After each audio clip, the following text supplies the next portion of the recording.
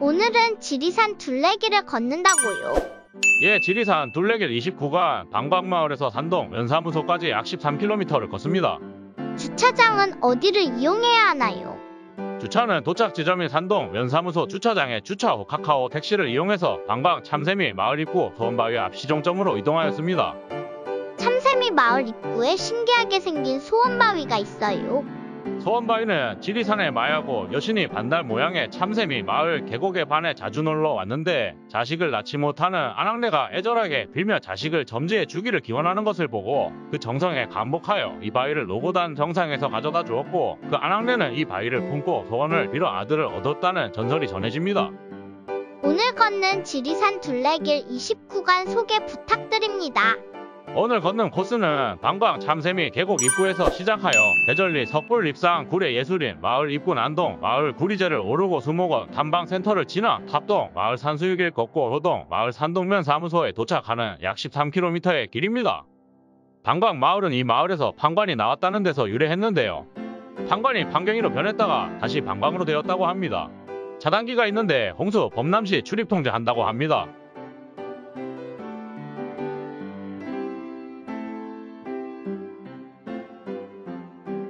지리산 둘레길 이용 수칙이 있는데요.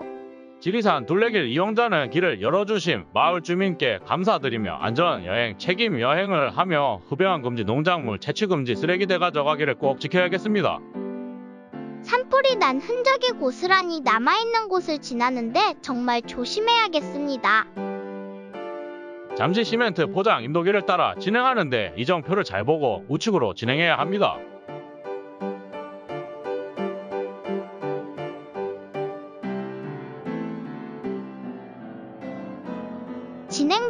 정면 좌측으로 대단히 태양열 발전 단지가 조성되어 있습니다.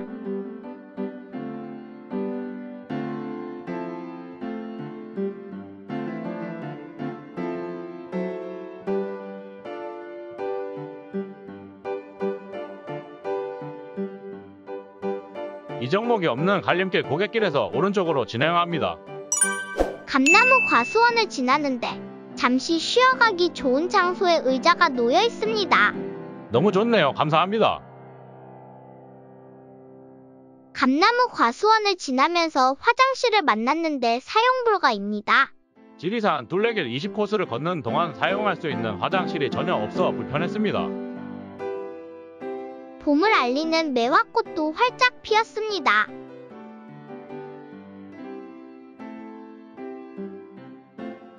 지리산 둘레길을 걷는 부부를 만났는데요. 혼자보다는 둘이서 걸으니 정말 보기 좋습니다.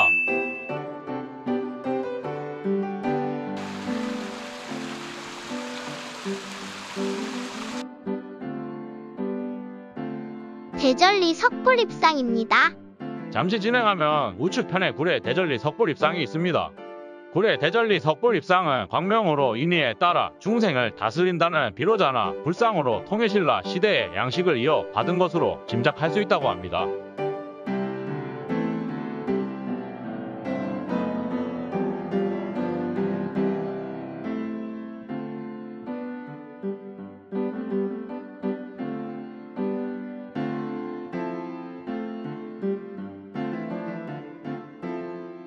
둘레길 이정목 구례 129 오거리에서 직진하여 진행합니다. 지리산 마늘밭인데요. 실하게 잘 자랐네요.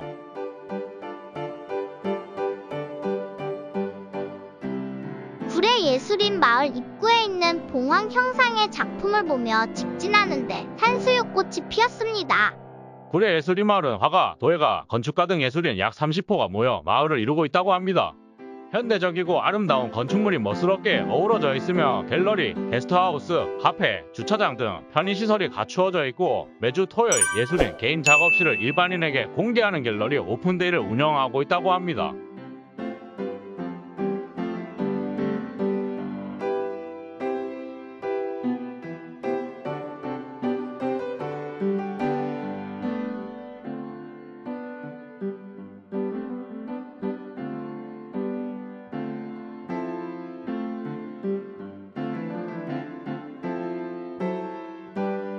와, 예쁜 강아지들이 두 마리나 있어요. 너무나 귀여운 강아지들입니다. 난동마을에 도착했는데요. 산수유꽃이 만개해서 반겨주는데요. 나무를 쌓아놓은 것도 예술입니다. 보호수 소나무입니다. 2009년 지정된 이 소나무 보호수는 수령 400년 수고 16m, 나무들레 2.6m입니다. 길을 좀 받고 가야겠네요. 난동길을 조금 걷다 보면 지리산 둘레길 17-1 구간 오미 난동 구간 시종점인 난동 마을 갈림길에 도착했습니다. 다음에 이곳을 다시 한번 와야겠네요. 오미 난동 시종점에서 다리를 건너 바로 우측으로 진행합니다. 지리산 둘레길 자기럽음 간판을 지나고 이후 구리제까지 꾸준한 오름길이 이어집니다. 이후 구리제까지 350고지 이상 오르는 길이지만 완만하게 오르는 길이라 크게 힘들이지 않고 오를 수 있습니다.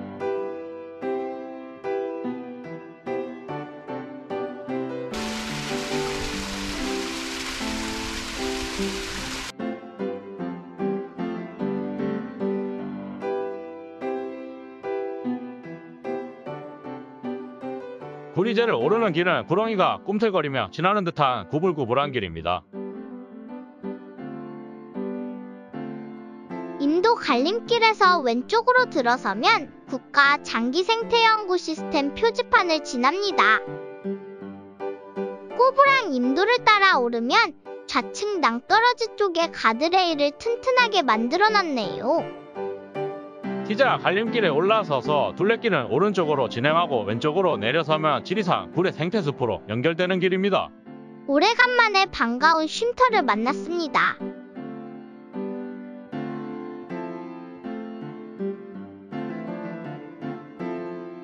도로 옆돌 벤치 위에는 아름다운 글귀가 새겨져 있어서 읽으며 지나는 재미가 솔솔합니다. 여기에 보이는 건 껍데기에 지나지 않아 가장 중요한 것은 눈에 보이지 않아. 너의 장미꽃이 그토록 소중한 것은 그 꽃을 위해 내가 공들인 그 시간 때문이야. 정자 쉼터를 만났는데요. 이곳 돌벤치에도 시가 새겨져 있습니다.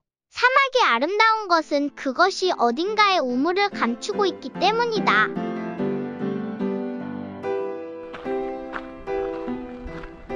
전망대 쉼터 돌벤치에 새겨진 시구들인데요.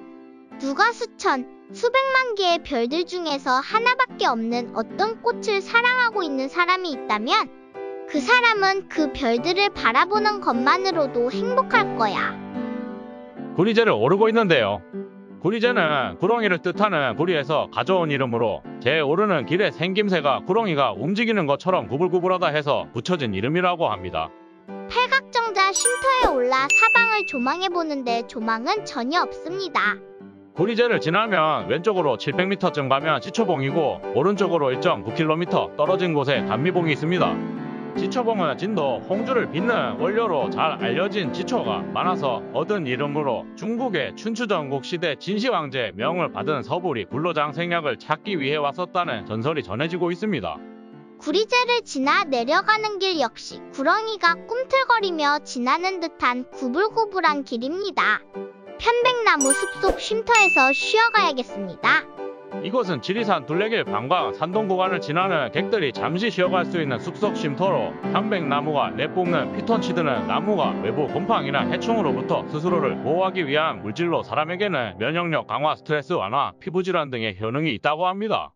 팔각정자 쉼터를 지나 인도 좌측 숲길로 내려서서 지리산 구례 수목원으로 진행하는데 숲길은 계곡물 옆으로 이어지고 있습니다.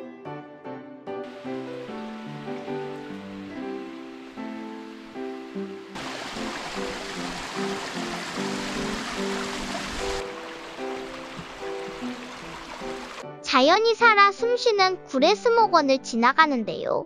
구례 수목원은 자연자원을 보존 보전하고 가치 있는 이용을 통해 산림 복지 서비스 증진 및 지역 발전에 기여하고자 조성된 산림교양, 문화, 체험교육 중심의 수목원이라고 합니다.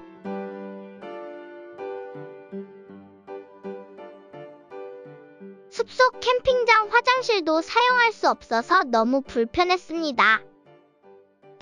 마을을 걷는데 산수유꽃이 만개해서 반겨줍니다. 샛노랗게 꽃망울을 터트린 산수유는 영원 불멸의 사랑이라는 꽃말을 가지고 있는데요. 매년 구례군 산동면 지리산 온천 관광지 일원에서 구례 산수유 축제가 열리고 있습니다. 구례 산수유 마을 일대에는 수십만 구루의 나무들이 노란 꽃을 피워 마치 노란 물감을 뿌려놓은 듯 아름답습니다. 축제가 열리고 있는 마을이 아니더라도 이곳 탑동마을에서도 산수유꽃을 볼 수 있습니다. 관광객들이 북적이는 주행사장도 좋지만 조금은 한적한 지리산 둘레길을 걸으며 봄을 만끽해 보는 것도 좋을 듯합니다.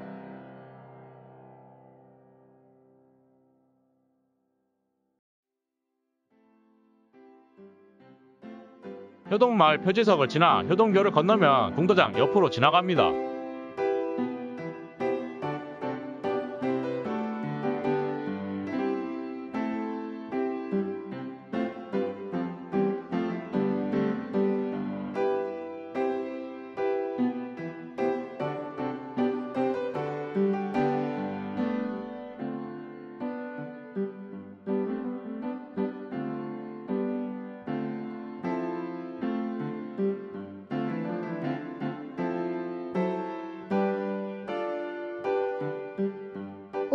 지리산 둘레길 29간을 걸어보았습니다.